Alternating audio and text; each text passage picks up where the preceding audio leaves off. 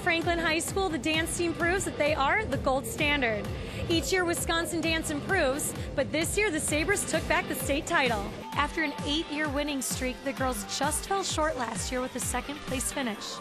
But their winning performance in the jazz category this time around put them back on top. We felt like we let some people down because we've been winning. We had such a long winning streak.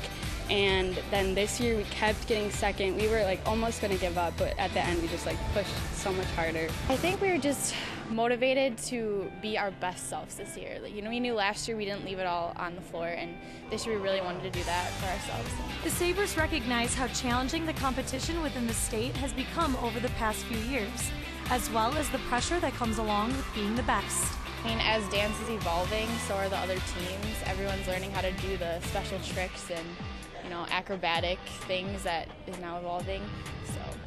This year we decided to bring in someone else to do our jazz choreography because we felt like that was something we struggled with. Um, so Mary Lavore came in and did our jazz choreography for us, and it really, really helped a lot. The girls really admire her, so it was great.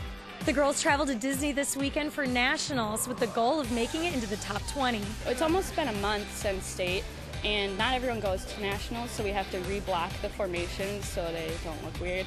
And um, then some people have to learn new parts, and it's kind of confusing sometimes. There's also that pressure because all the Wisconsin teams are going to be there as well, so we have to show that we earned that state champion. Our goal this year, I think, would be in the top 20 overall. Um, it'd be nice to win our division in one or two things. In addition to winning state, Franklin also has six UDA All American dancers pulling the team through nationals.